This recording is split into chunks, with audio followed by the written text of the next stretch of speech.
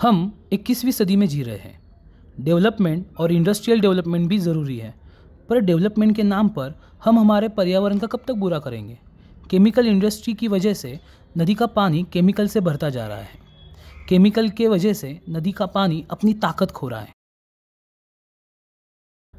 जिस नदी के पानी की वजह से खेती और पशुपालन में मदद होती थी, अब वही पानी केमिकल की के वजह से जहरीला हो गया है। पानी में केमिकल की वजह से लोग मर रहे हैं। नदी के पानी में केमिकल की वजह से पानी में अब मछलियाँ भी जहरीली हो गई है और वही मछलियाँ हम खाते हैं और उसी जहर का शिकार खुद हो रहे हैं।